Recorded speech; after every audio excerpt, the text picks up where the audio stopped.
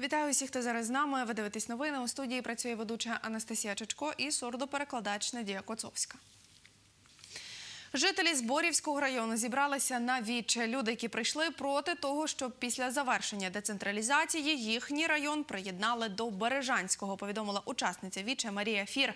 Зазначу, на Тернопільщині у жовтні із 17 районів має залишитися три або чотири. Про це розповів заступник голови облдержадміністрації Олег Валов. За його словами, зараз Кабмін розглядає два варіанти формування районів області. У першому йдеться про три райони: це Кременецький, Тернопільський та Чортківський.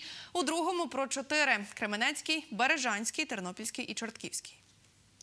Вважаю, що тільки Тернопільський район, тому що, на мою думку, дорога, е, якщо до Бережан, то є дорога назад. А Тернопіль то є дорога вперед. Тому що ми споконвіку привикли. Тернопіль базар, Тернопіль магазини, Тернопіль лікарня. А Бережання то є щось таке глухе і відстале для нас. Навіть як показували е, лікарню в Бережанах, там страшні коридори обсипані. Подивіться на нашу лікарню. То чому ми повинні йти туди? Я хочу жити в Зборівському районі, який буде належати до Тернопільської області, Тернопільського району. Е, По тій простій причині, що я часто е, ну, їжджу за кермом, я водій, так і їхаю, їхати, їхати, наприклад, чи через Козову, е, чи на Бережани по прямій дорозі, там просто можуть повилітати пломби з зубів і колеса, і так далі. Я думаю, що це недоречно. Е, Вони хочуть приєднати нас зборів до себе, то нехай спочатку свою територію нормально обслуговують. Три тисячі людей за Тернопільський і 25 людей за Бережанський. Я думаю, тут більше немає про що говорити. Ми звернулися за коментарем до заступника голови облдержадміністрації Олега Валова. Він прокоментував цю акцію так. логіка одного тільки месенджа, меседжу від е, даних, даних, так, політично активних діячів. Це е, те, що зборів має добре сполучення з Тернополем. 37 кілометрів доброї дороги.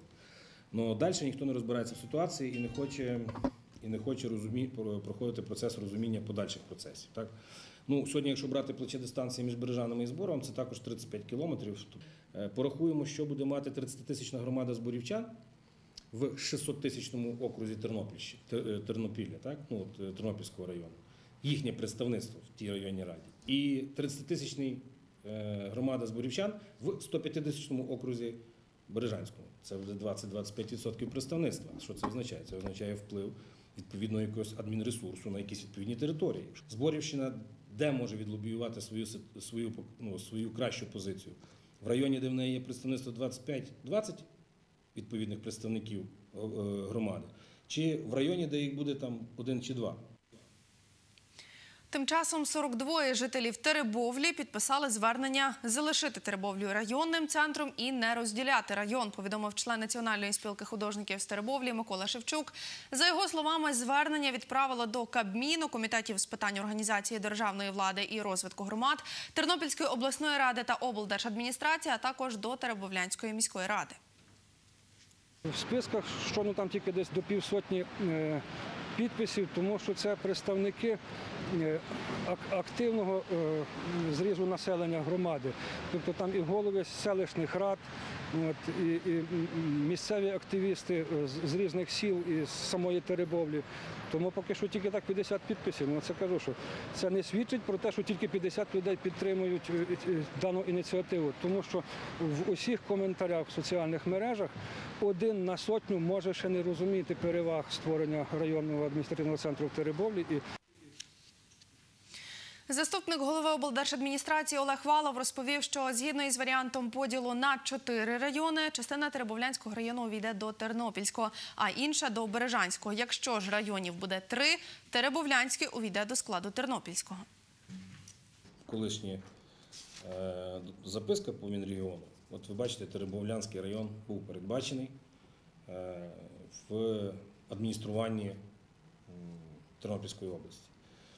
Можна розглядати і Теребовлянський район. Питання в тому, що ми зараз цього зробити вже не можемо. Тобто це вже вирішує питання в Кабінеті міністрів. І як вони розподіляють, так воно і буде.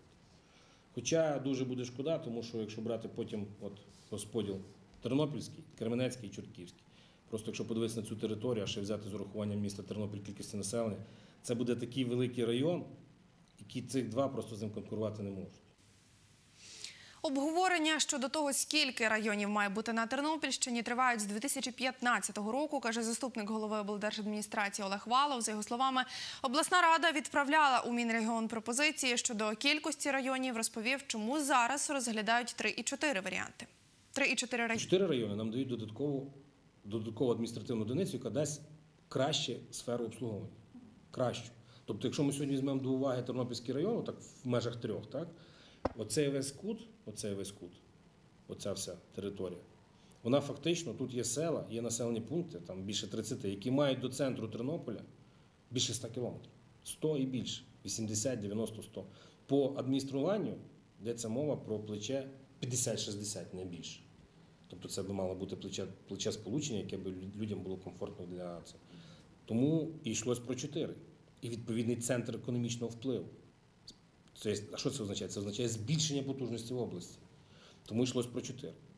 Але три пропонували відповідні експерти щодо зменшення державницьких витрат. Як поділ області на три або чотири райони вплине на жителів Тернопільщини, розповів виконавчий директор Тернопільського регіонального відділення Асоціації міст України Ігор Гірчак. Весь рівень послуг, всі перелік послуг, які зараз надаються на рівні району, мають бути опущені до рівня громад. Тобто людям не потрібно буде їздити в район за отриманням якоїсь послуги чи отриманням якогось документу, довідки, вирішенням якихось питань. Тобто на рівні району буде відбуватися виключно е, координація діяльності органів державної виконавчої влади. І якщо і треба буде якусь надати послугу людям, то е, скажімо, ініціатори цього реформи хочуть навпаки, щоб органи представництва органів центральної виконавчої влади, які будуть зосереджені на рівні району, їхали до людей, а не навпаки, люди їхали в район. Продовження цієї теми дивіться у наступному підсумковому випуску новин о 19 годині. У стабільно важкому стані перебуває старша лікарка екстреної медичної допомоги Тернопільської станції швидкої номер 1 у якої лабораторно підтвердили коронавірус. Про це нам повідомив директор лікарні швидкої допомоги Ярослав Чайківський. За його словами, жінку лікують у цьому медзакладі з п'ятниці до апарату штучної вентиляції легень, каже Ярослав Чайківський. Її не підключали. Нагадаю, серед працівників станції швидкої допомоги номер 1 у Тернополі, що на вулиці Рєпіна 11, виявили спалах коронавірусу. Там захворіли 18 осіб. Про це повідомив генеральний директор центру екстреної медичної допомоги Михайло Джус.